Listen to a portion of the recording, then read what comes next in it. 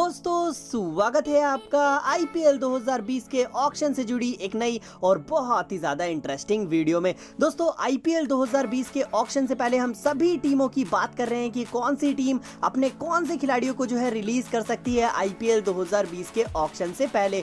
और यहाँ पर इस वीडियो में हम बात करेंगे मुंबई इंडियंस की। बात करेंगे उन पाँच खिलाड़ियों की जिन्हें रिलीज़ कर सकती है मुंबई इंडियंस की टीम आईपीएल 2020 के ऑक्शन से पहले।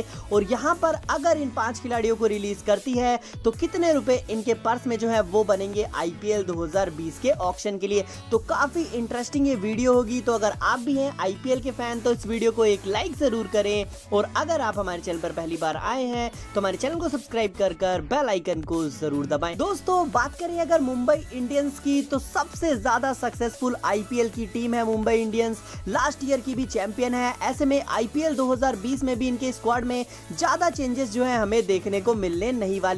एक आध बड़े चेंजेस ये टीम करेगी, लेकिन अपने पाँच कम से कम खिलाड़ी जो है वो रिलीज़ करने वाली है, जिनके बारे में हम इस वीडियो में बात कर लेते हैं। तो यहाँ पर सबसे पहला और कंफर्म नाम जो है, जो कि बाहर हो चुके हैं स्क्वाड से, वो है युवराज सिंह, जिनको एक करोड़ रुपए में खरीदा था मुंबई इंडियंस की टीम ने, लेकिन आपको बता दें कि ये रिटायरमेंट अपना अनाउंस कर चुके हैं। ऐसे में ये जो है रिलीज़ हो चुके हैं मुंबई इंडियंस के स्क्वाड से। तो पहले खिलाड़ी है मुंबई इंडियंस के लिए युवराज सिंह, जो कि रिलीज़ हो चुके हैं। दूसरा नाम है यहाँ पर रशीक सलाम का जो भी यहाँ पर रिलीज़ होने वाले हैं, मुंबई इंडियंस के स्क्वाड से। रसीक सलाम की अगर बात करें तो फास्ट बॉलर हैं, जिनके ऊपर दो साल का बैन जो है बीसीसीआई ने लगा दिया है। ऐसे में आईपीएल 2020 से पहले मुंबई इंडियंस की जो टीम है, इन्हें रिलीज़ करने वाली है। ये भी हमें बाहर जाते हुए दिखाई देंगे। ये ऑप्शन में भी नहीं आएँगे, क्योंकि इनके पास दो साल का जो है वो बैन है, जो कि बीसीसीआई ने इनके ऊपर लगाया है। बात करें दोस्तों, तीसरे बड़े नाम की तो तीसरा बड़ा नाम होगा ब्रिंदर सरन का। ब्रिंदर सरन को भी मुंबई इंडियंस की जो टीम है कंफर्म से रिलीज़ करने वाली है,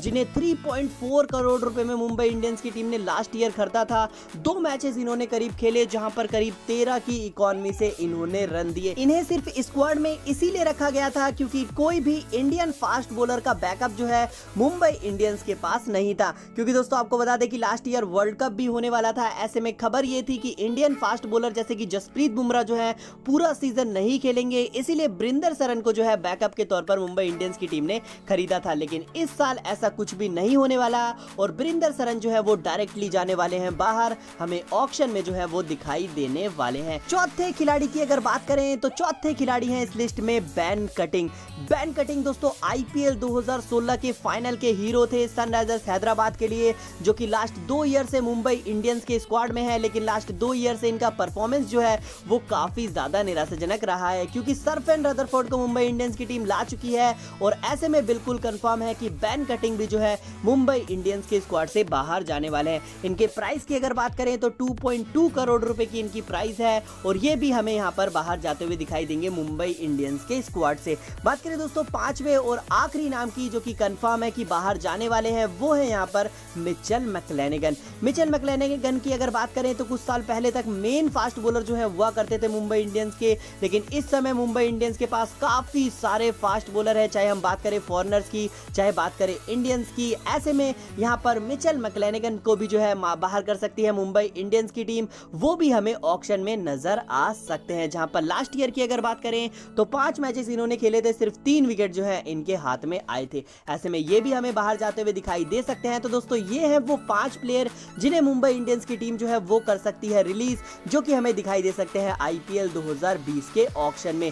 और अगर ऐसा करती है मुंबई इंडियंस की टीम तो इनके पास भी अच्छी खासी रकम जो है वो बनेगी। जहाँ पर बात करें दोस्तों, इनके पास पहले से ही जो है 3.5 करोड़ रुपए करीब इनके पर्स में है और अगर इन खिलाड़ियों को रिलीज़ कर देती है मुंबई इंडियंस की टीम तो करीब 7.8 करोड़ रुपए और जो है उनके पर्स में जुड़ जाएँगे। तो टोटल यहाँ पर करीब 11 करोड़ रुपए जो है मुंबई इंडियंस के पर्स में होंगे, जो कि बाकी टीमों से अगर हम कंपेयर करें तो कम है, लेकिन मुंबई इंडियंस की टीम का स्क्वाड क्योंकि पहले से ही काफ़ी ज़्यादा मज़बूत है। ऐसे में एक दो बड़े खिलाड़ी के पीछे मुंबई इंडियंस की टीम जो है ऑक्शन में जा सकती है।